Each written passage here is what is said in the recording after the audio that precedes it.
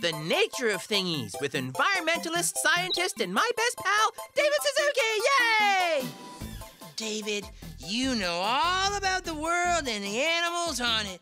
So, do you know any factorinos about turtles? Turtles.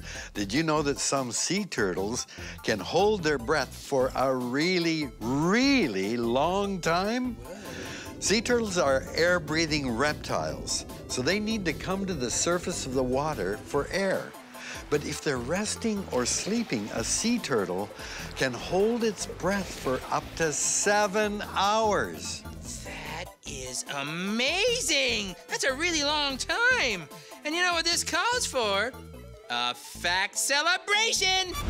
Turtles! Turtles! Turtles! Turtles! They're nappers in a half shell. Turtle power! This has been the nature of thingies.